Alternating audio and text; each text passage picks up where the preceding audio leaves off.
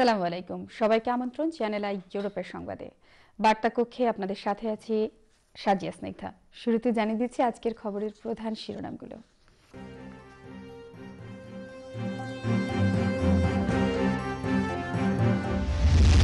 অধিক ক্ষমতার সৌরবিদ্যুৎ আবিষ্কার করেছেন লন্ডন মেট্রোপলিটন বিশ্ববিদ্যালয়ের বাংলাদেশি এক শিক্ষার্থী।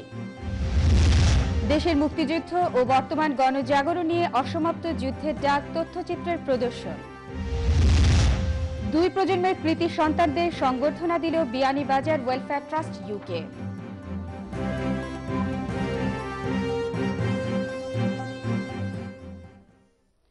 শুনছিলেন শিরোনাম, এবারে বিস্তারিত। অধিক ক্ষমতা সম্পন্ন সৌর বিদ্যুৎ উদ্ভাবন করেছেন লন্ডন মেট্রোপলিটন ইউনিভার্সিটির এক ব্রিটিশ বাংলাদেশি শিক্ষার্থী।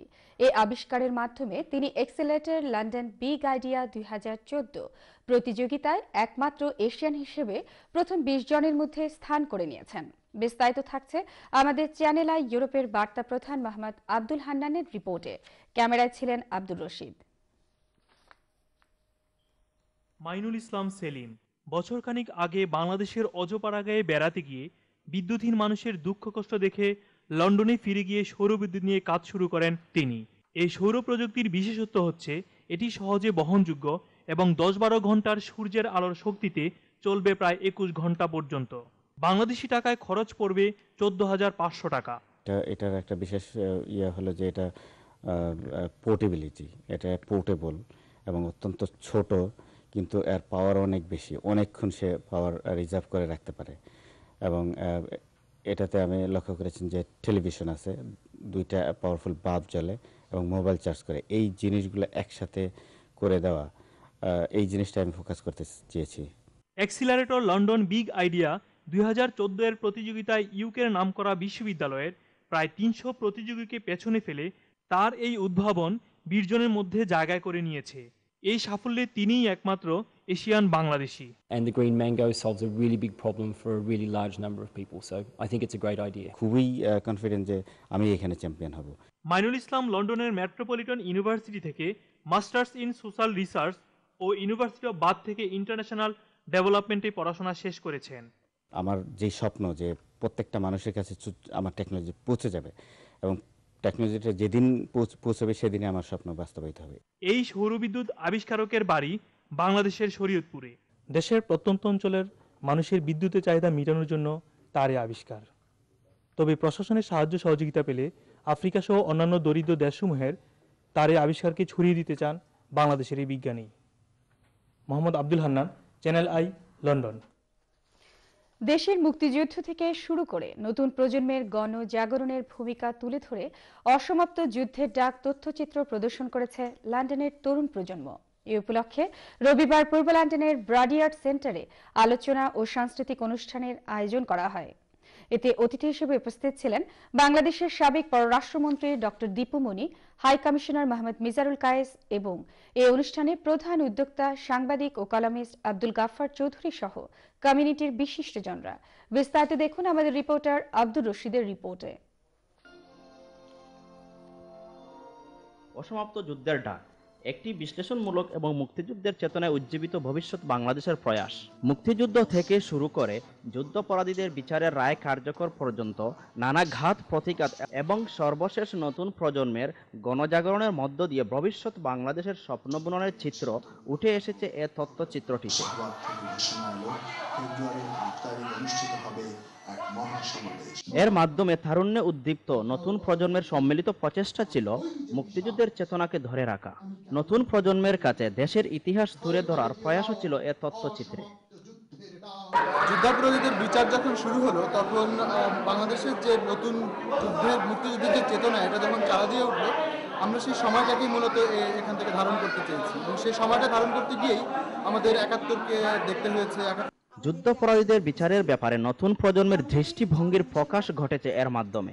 এটিকে বাংলাদেশের ইতিহাসের সাক্ষী হিসাবে আখ্যায়িত করেছেন বাংলাদেশ সরকারের সাবেক পররাষ্ট্রমন্ত্রী ডক্টর দীপুমণি এরকম উদ্যোগ আরও নেওয়া উচিত কারণ এগুলোই কিন্তু একসময় আমাদের আমাদের ইতিহাসের সাক্ষী হিসেবে থাকবে। আমি অত্যন্ত আনন্দিত যে এই ধরনের একটি উদ্যোগ হয়েছে।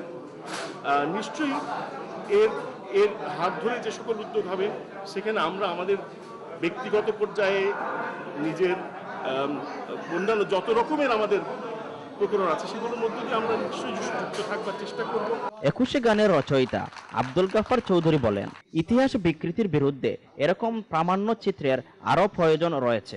এসে ছবিটা দেখেছে তাদেরকেও ধন্যবাদ এবং আমি মনে করি আমাদের মুক্তিযুদ্ধের যে তথ্য বিকৃতি চলছে ইতিহাস বিকৃতি চলছে তাকে প্রতিরোধ করার জন্য এরকম আরও অসংখ্য ছবি হওয়া দরকার। লন্ডনের বিভিন্ন প্রান্ত থেকে আগতরা এটি উপভোগ করেন। দেখার পর আগত দর্শকরা যুদ্ধাপরাধীদের রায় বাস্তবায়ন সহ সর্বোচ্চ শাস্তির দাবি জানান। আমরা যারা মুক্তিযুদ্ধ করেছি আমরা চাইব রাজাকার রাজনগরের যারা যারা আছে এখনও জীবিত যারা চার করা হয়েছে অতি দ্রুত তারা ফাঁসি চাই যুদ্ধাপরাধী চৌধুরী মঈনুদ্দিনকে অতিরিক্ত যে রায় হয়েছে সেই রায় আমরা বাংলাদেশ সরকারের কাছে আমাদের আজকের এই সভা থেকে দাবি। গণজাগরণ মঞ্চ ইউকের সার্বিক তত্ত্বাবধানে এবং ডায়মন্ড স্টুডিওর প্রযোজনায় নির্মিত তথ্যচিত্রটি নতুন প্রজন্মের চেতনাকে আরও বেগবান করবে বলে বিশ্বাস সবার। Abdur Rashid channel I London যুক্তরাজ্য প্রবাসী বিয়ানীবাজারের দুই প্রজন্মেরও কৃতি সন্তানদের সংবর্ধনা দিল বিয়ানীবাজার ওয়েলফেয়ার ট্রাস্ট ইউকে সাতাশে এপ্রিল, রোববার পূর্ব লন্ডনের রয়্যাল রিজেন্সি হলে অনুষ্ঠানে দুই প্রজন্মের মধ্যে সেতু বন্ধনের পাশাপাশি সকল প্রবাসীর পারস্পরিক সৌহার্দ্যপূর্ণ সম্পর্ককে আরও জোরদার করার লক্ষ্যে এই অনুষ্ঠানের আয়োজন করা হয়। নিজেদের এলাকায় আর্থসামাজিক উন্নয়নে দিনের পর দিন যে অবদান রেখে চলেছে, তাদের মধ্যে বিয়ানীবাজার ওয়েলফেয়ার ট্রাস্ট অন্যতম। ষোলো জন বিশিষ্ট মুরব্বী কমিউনিটির নেতা, কৃতি শিক্ষার্থী এবং চারজন কৃতি সন্তানকে সম্মাননা দেওয়া হয়েছে এতে। এই অনুষ্ঠানে সভাপতিত্ব করেন বিয়ানীবাজার ওয়েলফেয়ার ট্রাস্ট ইউকে সভাপতি মুহিবুর রহমান মুহিব। ট্রাস্টের সাধারণ সম্পাদক মোহাম্মদ দিলার হোসেন ও রহিমা বেগমের উপস্থাপনায় অনুষ্ঠানের শুরুতেই জাতীয় সংগীত পরিবেশন করা হয়। এতে সংগঠনের অন্যান্য সদস্য ছাড়াও কমিউনিটির বিশিষ্ট ব্যক্তিবর্গ উপস্থিত ছিলেন।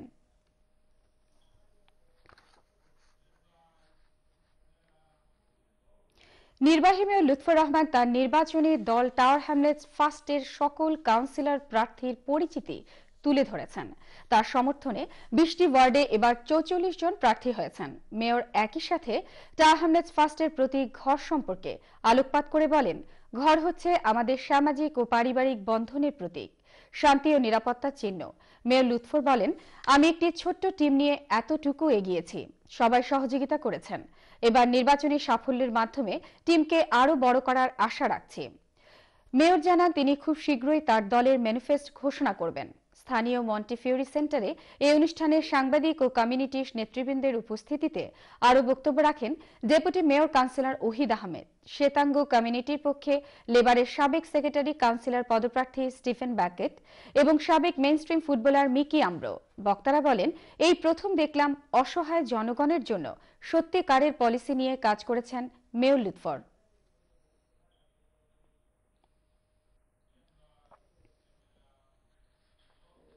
Bangladesh medical association London ও সাউথ ইস্ট রিজিয়নের উদ্যোগে বার্ষিক ভোজ সভা ও সাংস্কৃতিক অনুষ্ঠানের আয়োজন করা হয়েছে। ছাব্বিশে April Newbury Park Holiday Inn Express হোটেলে আয়োজিত অনুষ্ঠানে সভাপতিত্ব করেন সংগঠনের সভাপতি ডক্টর এম এ মজিদ। পরিচালনা করেন সেক্রেটারি ডক্টর মোহাম্মদ জিয়াউল হক। প্রধান অতিথি হিসেবে উপস্থিত ছিলেন বার্কিং এলাকার কনজারভেটিভ প্রার্থী থেকে এমপি পদপ্রার্থী মিনা রহমান, বিশেষ অতিথি কাউন্সিলর পদপ্রার্থী পলিন ফিন। এতে বক্তব্য রাখেন doctor Amjad Hossain, Dolly Aziz, Ajit Ghosh doctor M A Awal doctor Mahmudur Rahman doctor Abu Sayeed Khan প্রমুখ। এই সংগঠনটি বহু বছর যাবৎ জনকল্যাণমূলক সেবার সাথে গরিব, এতিম, অন্ধ, পঙ্গু, ঘূর্ণিঝড় ক্ষতিগ্রস্তদের সাহায্য সহযোগিতা করে আসছে। ভবিষ্যতেও এ ধরনের কার্যক্রম চালিয়ে যাওয়ার কথা ব্যক্ত করেন আয়োজকরা। সভা শেষে মনোজ্ঞ সাংস্কৃতিক অনুষ্ঠানের আয়োজন করা হয়।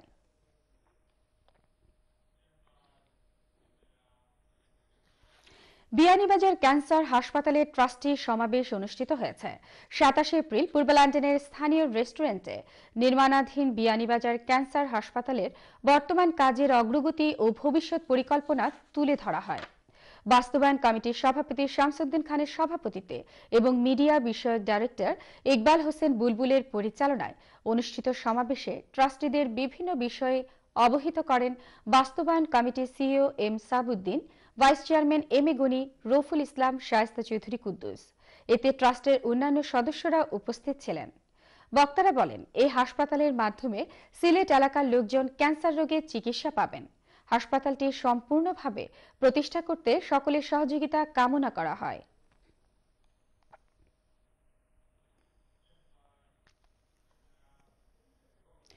সুন্নাতে ওয়া জামায়াত যুক্তরাজ্য শাখার পূর্ণাঙ্গ কমিটি ঘোষণা করা হয়েছে। শনিবার পূর্ব লন্ডনের স্থানীয় রেস্টুরেন্টে কমিটির নাম ঘোষণা করা হয়। মাওলানা তালিবউদ্দিনের সভাপতিত্বে সভায় উপস্থিত ছিলেন সুরুজ মিয়া আঞ্জুমানে সালিকিনের সেক্রেটারি মাহতাবুদ্দিন, সুন্নি আন্দোলনের সিনিয়র সদস্য মোহাম্মদ আহমদ চৌধুরী, রেদওয়ান আহমেদ চৌধুরী, আব্দুল কুদ্দুস, দেওয়ান আউলিয়া চৌধুরী সহ বিশিষ্টজনেরা এতে বক্তারা দলের নানাবিধ কর্মকাণ্ড তুলে ধরে বক্তব্য রাখেন। শামসুল হক কাদেরিকে আহ্বায়ক করে এগারো সদস্য বিশিষ্ট এই কমিটি ভবিষ্যতে সংগঠনের কার্যক্রমকে এগিয়ে নিতে সকলের সহযোগিতা কামনা করেন।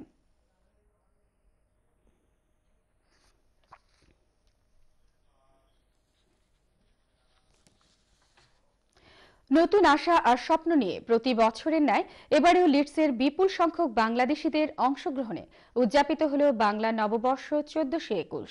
শনিবার লিডসের মড টাউনে স্থানীয় হলে আয়োজিত নববর্ষের অনুষ্ঠানে বিপুল সংখ্যক প্রবাসীরা অংশ নেন। বিস্তারিত থাকছে আমাদের প্রতিনিধি মোহাম্মদ জাকারিয়ার রিপোর্টে। মুঘল সম্রাট আকবর সুবে বাংলা প্রতিষ্ঠার পর বাংলাদেশে ফসল কাটার মৌসুম অনুসারে খাজনা আদায়ের সুবিধার্থে নতুন একটি সনের প্রবর্তনের জন্য অনুরোধ করেন বিজ্ঞ রাজজ্যোতিষী ও পণ্ডিত আমির ফতেউল্লাহ সিরাজিকে। সিরাজি হিজরি চন্দ্র মাসের সঙ্গে সম্রাটের সিংহাসনের আরোহণের বছর এবং ভারতীয় সৌরসনের সমন্বয়ে বাংলা সনের প্রবর্তন করেন।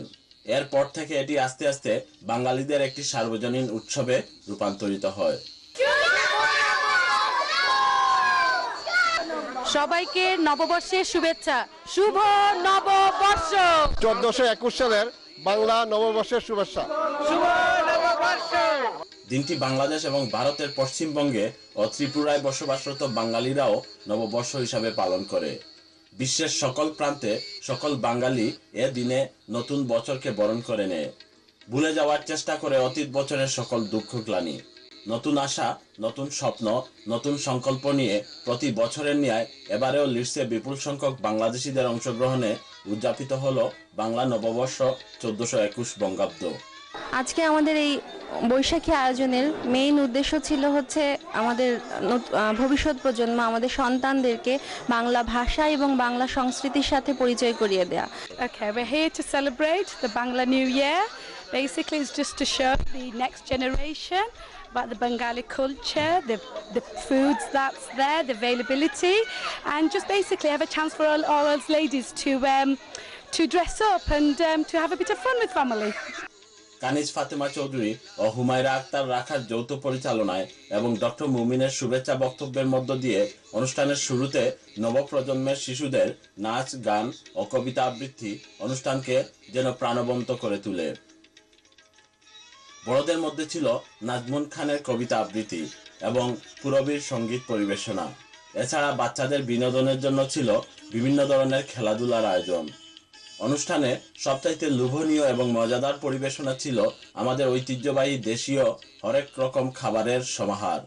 সব মিলে মনে হচ্ছিল বিলেতে এ যেন বাংলাদেশেরই কোনো এক প্রতিচ্ছবি। বাংলা ভাষা, সংস্কৃতি ও বাঙালি ঐতিহ্যকে নবপ্রজন্ম ও বিদেশিদের কাছে তুলে ধরার প্রয়াসে লিডসের বাঙালিরা পালন করল বাংলা নববর্ষ চোদ্দশো একুশ। বিশ্বের সকল প্রান্তের সকল বাঙালি আজকের এই দিনে নতুন বছরকে বরণ করে নিক। আর ভুলে যাক অতীতের সকল দুঃখ গ্লানি।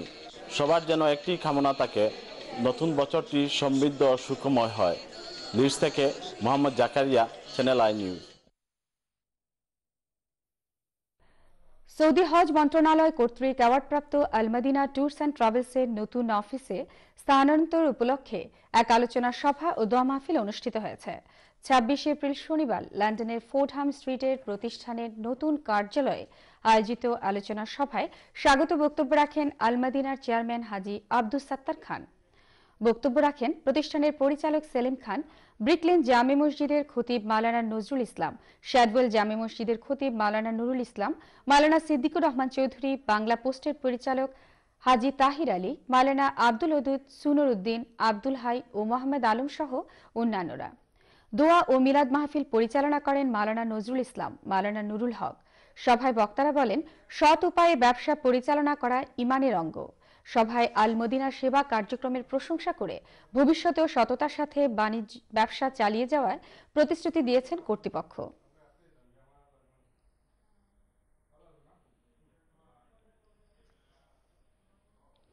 বিশ্বের বিখ্যাত শহর ও পর্যটন কেন্দ্রগুলিতে ব্রিটেন প্রবাসীদের পরিবার নিয়ে সুলভে ও নিরাপদে ভ্রমণের সুযোগ তৈরিতে আনুষ্ঠানিকভাবে যাত্রা শুরু করেছে এনসিএল ট্যুরস।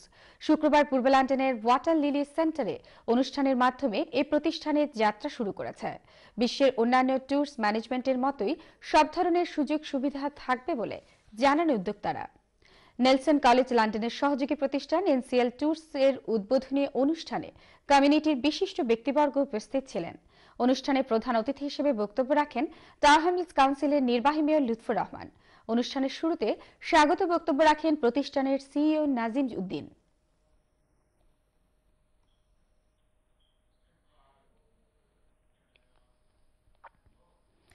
এবারে যাচ্ছি ছোট্ট একটি বিজ্ঞাপন বিরতিতে। ফিরে এসে অন্যান্য খবরের সাথে থাকছে।